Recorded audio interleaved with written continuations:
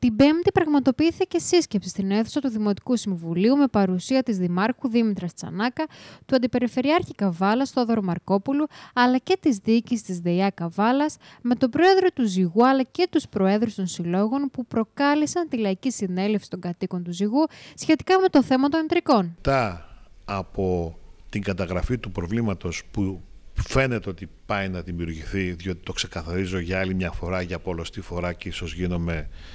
ε, κουραστικός και αιμονικός με το θέμα αυτό ότι θέμα ποιότητας, ασφάλειας, χρήση του νερού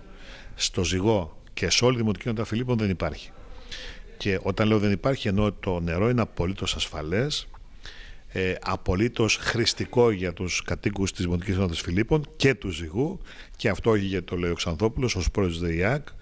αυτό διότι το αποδεικνύουν οι μετρήσεις που κάνουμε όλο αυτό το χρονικό διάστημα σε βάθος εξαετίας και όχι τα τελευταία δύο χρόνια όπως τεχνίαντος κάποιοι θέλουν να υποστηρίζουν και όπως διασφαλίζει και θα έλεγα έρχεται να ε, ισχυροποιήσει τη θέση μας αυτή η Διεύθυνση Υγείας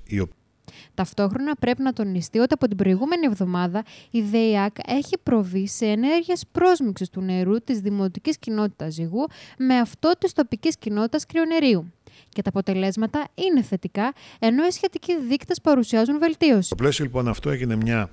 συζήτηση για περίπου μια μισή ώρα, η οποία ήταν εξαιρετικά επωφελής. Νομίζω ότι απαντήθηκαν όλα τα θέματα. Ε, η αποτέλεσμα της συζήτησης αυτής ήταν να αναφερθούμε εμείς ως ΔΕΙΑΚ και ως η υπηρεσία, ο φορέας, ο οποίος είναι αρμόδιος για να διαχειριστεί το θέμα της ασφάλειας του νερού, ε, στα αποτελέσματα αυτής της παρέμβασης και η οποία παρέμβαση είχε να κάνει στο τι, στο ότι αναμίξαμε, προσμίξαμε νερό από το κρυονέρι με αυτό του ζυγού καβάλας και μετά από τρεις μετρήσεις επαναλαμβανόμενες καταγράψαμε ότι τα όρια των ιδρικών από το 044 από την περιοχή του 044-045